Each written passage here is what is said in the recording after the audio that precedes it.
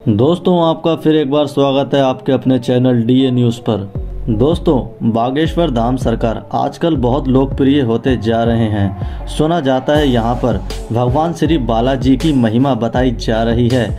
बागेश्वर धाम में जो भी श्रद्धांजलि आता है, उसकी सभी मनोकामनाएँ पूरी हो जाती हैं। और यहाँ पर आपको अपनी अर्जी लगाकर, जो भी समस्याएँ हैं, उन सभी समस्याओं का समाधान मिल जाता है। तो दोस्तों, अगर आप भी बागेश्वर धाम जाना चाहते हैं और उनके दर्शन करना चाहते हैं। तो हम आपको बागेश्वर धाम सरकार बालाजी की पूरी जानकारी हमारे चैनल डीए न्यूज़ पर देंगे। तो बने रहिए हमारे साथ इस वीडियो में अंत तक। दोस्तों, चलिए आपका ज़्यादा समय ना लेते हुए वीडियो की शुरुआत करते हैं। वीडियो की शुरुआत करने से पहले दोस्तों, आपसे एक छोटी सी रिक्वेस्ट है। अगर आपने अभी तक हमारे चैनल को सब्सक्राइब नहीं किया है तो चैनल को सब्सक्राइब करें और बेल आइकन को दबाना ना भूलें, जिससे कि हमारे आने वाले वीडियो की नोटिफिकेशन सबसे पहले आप तक पहुँच सके। चलिए दोस्तों, बात करते हैं कि बालाजी मंदिर आप कैसे जा सकते हैं और बागेश्वर धाम सरकार जाने के लिए आपको कौन कौन से रास्तों का चयन करना होता है और बागेश्वर धाम जाने में कितना खर्चा आता है।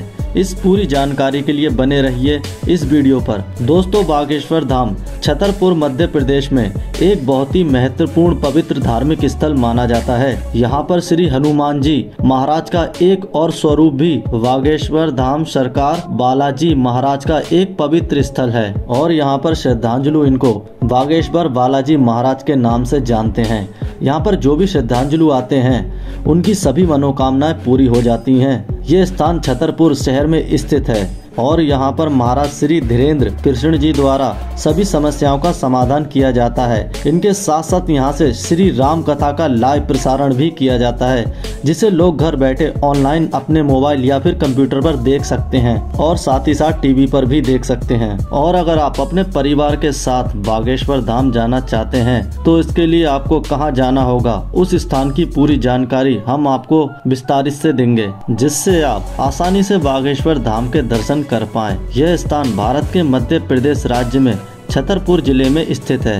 यहाँ पर जाने के लिए सबसे पहले आपको मध्य प्रदेश राज्य के छतरपुर में जाना होगा। उसके बाद वहाँ से 35 किलोमीटर की दूरी पर खजूराहो पन्ना रोड पर एक गंज नाम का छोटा कस्बा स्थित है और वहाँ से आपको लगभग तीन किलोमीटर एक और बड़ा गाँव जाना होगा। वहाँ से आपको लगभग तीन किलोमीटर एक और गंडा गाँव जाना होगा और उस बड़ा गाँव में ही हनुमान जी, महाराज बालाजी के दर्शन होते हैं। यहाँ पर आश्चर्य गुरुदेव श्री धीरेन्द्र कृष्ण जी महाराज लोगों की समस्या को सुनते हैं और उनका समाधान भी करते हैं। अगर आप गूगल मैप की सहायता से बागेश्वर धाम सरकार जाना चाहते हैं तो उसके लिए आपको गूगल मैप पर यह जानकारी लिखनी होगी। जैसा कि आपको गूगल मैप नीचे दिखाया जा रहा है।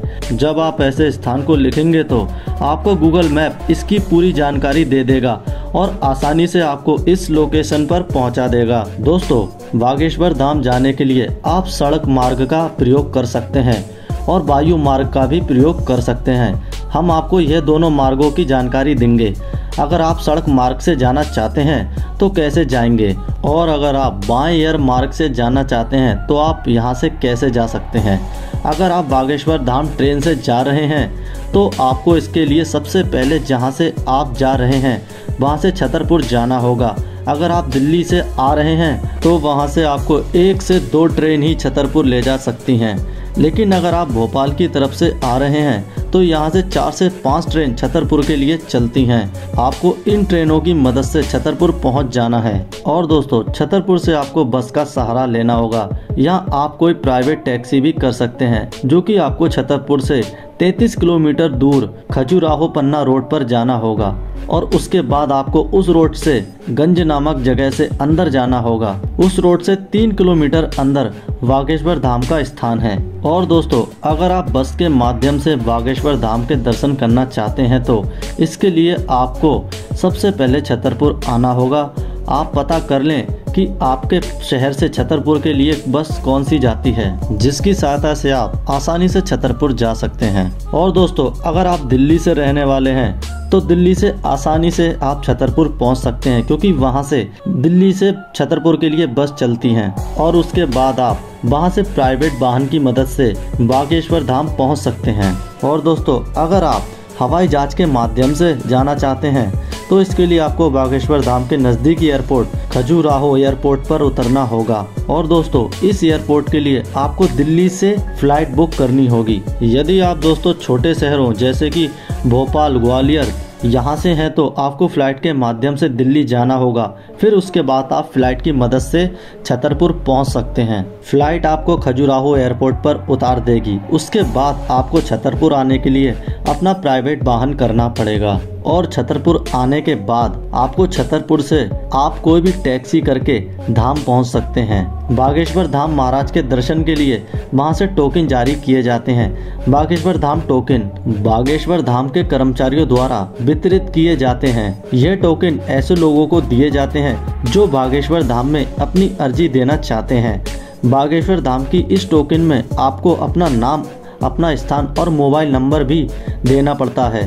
या फिर उनकी जानकारी देनी पड़ती है। आपको बागेश्वर धाम टोकन के लिए बागेश्वर धाम स्थान पर एक विशेष दिन जाना होगा, क्योंकि बागेश्वर धाम में प्रत्येक महीने में विशेष तारीख को केवल एक ही दिन टोकन को वितरित किया जाता है। पिछली बार यह टोकन 6 तारीख को बांटा गया था। आप एक बार बागेश्वर धाम जाकर पता करें।